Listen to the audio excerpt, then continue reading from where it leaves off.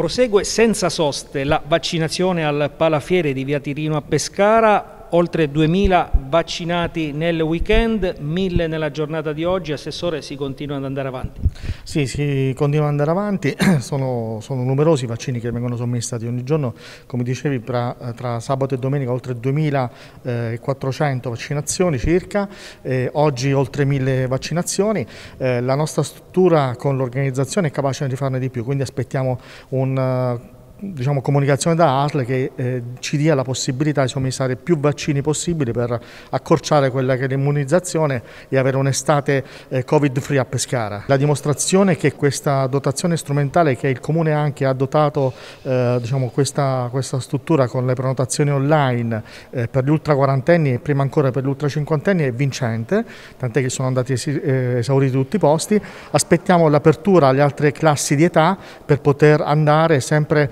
alle, ai più giovani e raggiungere ovviamente tutta l'immunizzazione per quest'estate. Tra poco ci saranno anche gli esami nelle scuole, avete delle comunicazioni in merito alle vaccinazioni per chi dovrà sostenere gli esami o è ancora presto? Allora, questa è una comunicazione centrale che non ancora arriva in comune, eh, venerdì avremo eh, il comitato ristretto dei sindaci, probabilmente ci sarà data comunicazione eh, in, quella, in, quella, sede. Noi siamo pronti a fare la nostra parte, accelerare anche su queste classi di giovani eh, cittadini pescaresi, non solo visto che sono aperti a tutta la provincia, abbiamo una struttura pronta per eh, diciamo, aggredire quella che è il virus e la vaccinazione il prima possibile e, e